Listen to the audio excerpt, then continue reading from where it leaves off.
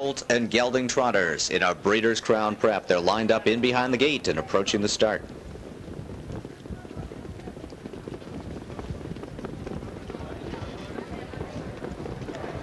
And they're off on tour. Heads out for the lead. Double Eagle floats out of there for Campbell from the outside. Frame by frame drives out well, and he settles nicely in behind on tour. Casa Hall from the inside trots away in fourth. And Bet on Bob is on hurried early fifth as Double Eagle powers on to challenge for the lead as they move toward the opening quarter. Sixth is Center Field, who's settled in nicely. Pen Pronto is reserved early second last. And Mr. Constant at the back of the pack is the trailer. And Double Eagle is trotting smoothly, and he's taken command well before the quarter in 28 and 4. On tour yielded readily for the pocket spot in second. Frame by frame is gapped slightly following third. Casa Hall content to ride the pylon so far in fourth. And Bet on Bob is racing in fifth center field waiting for some cover flow to develop as is Pen Pronto and Mr. Constant from the back. There's still straight alignment and still no pressure for John Campbell and Double Eagle and they're just cruising along on the front end controlling the pace right now. On tour enjoying that perfect pocket trip is second. Frame by frame starts to edge up in third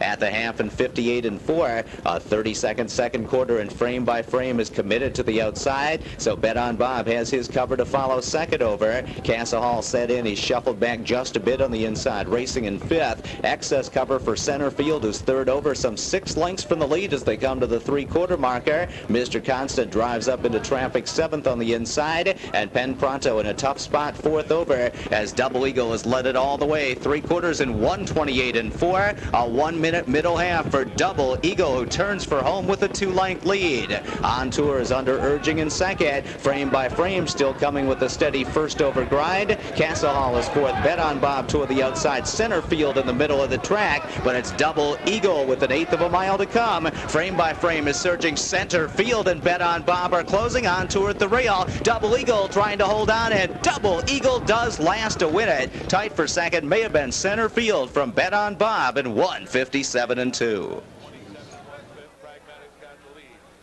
Racing on the outside is four stars Matt. Then it's the length and a Hall out of Winky's goal by Armbro goal.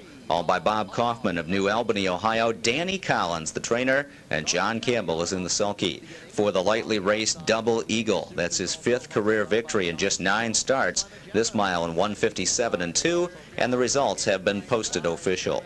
Second race is Amy's Big 3-0 tonight here at the Big M, and Amy and Greg Patton are in the winner's circle to make trophy presentation. Happy 30th to Amy Patton. Results official, and number seven Double Eagle pays $8, 480 and 3 even. Finishing second, number five Center Field, 380 $3. And third, number three Bet on Bob, $3 to show.